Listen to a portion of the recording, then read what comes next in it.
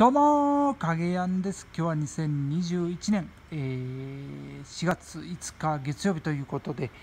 えー、1週間の始まりという方もこう多いのかなというふうに思います。僕は、えー、前半戦が終わ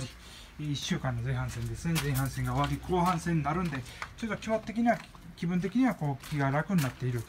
いう状況であります。まあ今日もね、えー、ご予約ご予約いただいてるんでまあ頑張っていきたいと思っておりますけれども昨日はねがっつり雨降りましたね。がっつりもう一日中雨と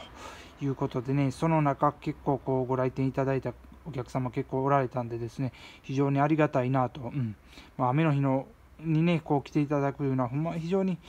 こう感謝する、えー、出来事かなというふうに思っております。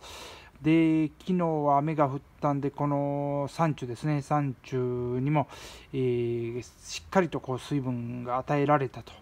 もうたっぷりすぎるぐらいですよね。すごい雨が降ってたんで。もうまだちょっとこう水滴がですねこれですね。この辺こう残ってますね。水滴残ってますけどもまあ、えー、これはこれでまたこう、えー、ね立派にこう 立派にっていうかそのえー、ね、野菜に立派にも何もどうなんか分かんないですけどもこう大きく育っていただいて、えー、美味しくいただきたいなというふうに考えております。